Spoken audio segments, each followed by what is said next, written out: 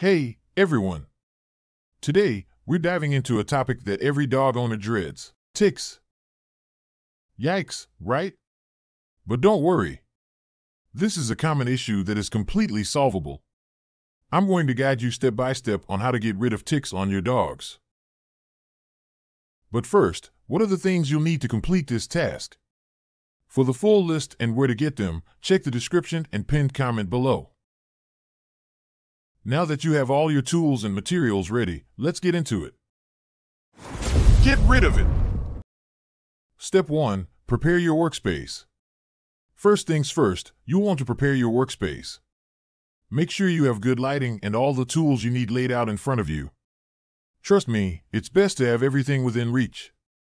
Step 2. Put on latex gloves.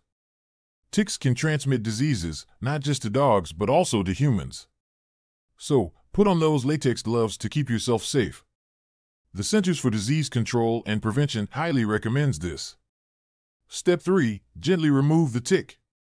Grab your tweezers or tick removal tool and get as close to your dog's skin as possible. Gently and steadily pull the tick out without twisting. A study by the University of Rhode Island found that twisting can cause parts of the tick to break off and remain in the skin, which you don't want. Step 4. Dispose of the tick properly. Place the tick in a disposable container and tightly seal it. You might want to save it so you can show it to your vet for any further recommendations. Step 5. Clean the area. Use antiseptic wipes or a solution to clean the area where the tick was removed. Again, the Centers for Disease Control and Prevention stresses the importance of this step to prevent infection. Step 6. Wash your dog.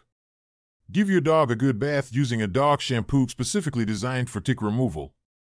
There's a scientific paper from the Journal of Medical Entomology that found certain tick shampoos to be effective in not only removing ticks, but also killing them. Step 7. Monitor your dog. For the next few weeks, keep an eye out for any signs of tick-borne diseases, such as lethargy, loss of appetite, or joint pain.